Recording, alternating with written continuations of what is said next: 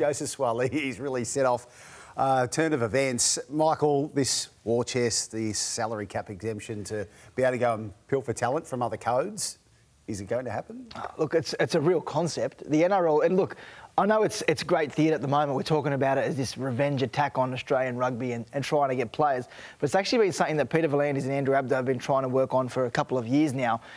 In detail, in, in theory, the, the model is basically try and give clubs up to a million dollars in salary cap relief. Now, that's not a million dollars in, in cash. It's salary cap dispensation to go and chase players from other markets. Now, they've identified sort of South Africa and Argentina where there is a strong rugby, uh, rugby union participation growing there and there's a lot of talent in those countries. And also out of the US where there's obviously a lot of college footballers who don't get the crack at playing in the NFL. So the NRL are encouraging clubs, or they will encourage clubs, to go out there, take some risks, bring players here, and also go after players in, in markets to try and grow interest in those sports. Try and get an established player from South Africa, let's say a Springboks player, bring him to a club, pay him X amount. That's not going to be part of the salary cap. And if it works, it's great for rugby league. It's great for rugby league in that country, puts them on the map, and everyone's how, a winner. How much is but, it realistically going to grow our game in South Africa? Well, I don't know. It depends on who they get, right? In. That, that, I'm just telling you what the model is, what the theory is. That, that's what Gus. You run a club, like it or don't like it. Would you use it if that was introduced? Bulldogs can't even get exemption for a 240 game veteran in Josh Jackson when he decided to retire because his body had given out, yet we're going to go and give salary cap dispensation to old mate from playing from South Africa. I find the thing extraordinary. And when I said a few weeks ago that Suaalii has made his decision to go to rugby, let him go now, it was to avoid all this rubbish in the media that we're seeing. Every cent they've paid Suaalii, rugby have made it back in press 10 times over. And it's just going to keep going and going and going. And you're also stupid to keep biting. so stupid to no, keep biting. I find this to be, this is a ridiculous idea. All it's going to do is inflate the market.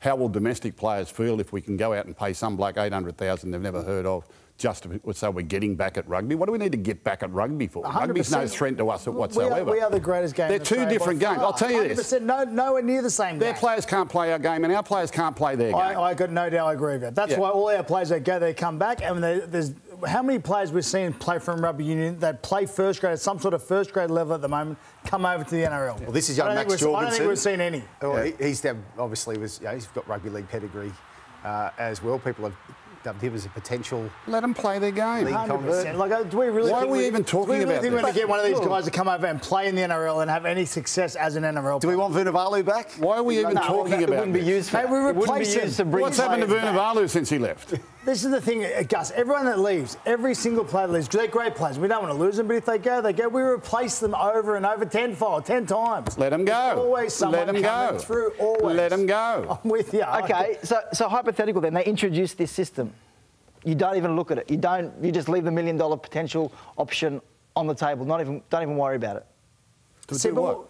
To get a player from anywhere. It doesn't have to does be. That, does that not open up doors? Some watch rugby. I'm not going to go and suddenly start watching rugby. It doesn't have rugby. to be rugby. I don't know. Some NFL. But, but does that not open a can NFL? That's what they're Basketball. talking about.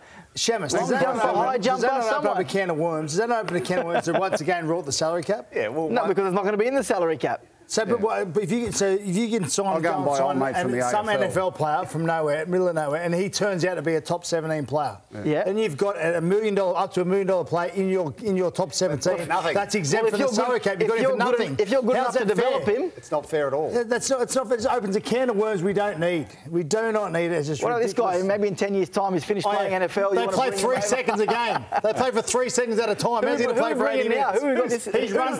He's run. He's run for four seconds. Mate, he's coming next week to the dog. He's going to get up and back. They run 10 metres up and back and make six I've already got wingers that catch the ball and throw it down. Why would I, he's, he'll, he'll Why would I want another one of them? He'll fix your injury crisis. That guy. He's coming back. He's uh, coming over. Media is so stupid. For free. It's so stupid. It's not us. It's the NRL's plan. You're exacerbating this by even talking about it. it's the NRL. If I knew you were going to talk about this tonight, I would have stayed at home. Are you happy to welcome Roger Tuivasa-Sheck back to rugby league, though? Guys? Wonderful, brilliant. Should never have gone in the first place, but he had an itch he wanted to scratch. Good old Roger. He He's back. He's back. He's back. Where he belongs. Yeah. He... I told you, they sent me up that time. I remember when Lote Tuqiri first played rugby, they played him for New South Wales. He was a Queenslander. They played him for New South Wales. I laughed at that for a start. The Herald said, go out there and write a column on Lottie's game. I said, what for? Oh, well, everyone's going to want to know how Lottie went. Why? Well, he's a rugby league player playing rugby. That's the only way they get publicity is talking about rugby league players playing rugby. so I went out to the Sydney Football Stadium, sat in the rain because I wouldn't bother going to the press box, sat in the rain. Lottie touched the ball twice. Touched it twice. What'd you write? Nothing. I said what a boring game rugby was. they didn't ask me to go find back. that column. They didn't ask me to go back.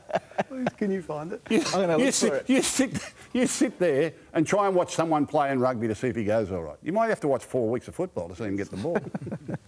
and I don't know what we're talking about. Can we just cut this episode out? it's the whole episode. This is pre-recorded. You're never going to see this episode. I'll, I'll go and get it cut out. Oh, dear, oh, dear. Uh, I told you. no, No, no, no. You're scared of rugby. I'm not scared of rugby.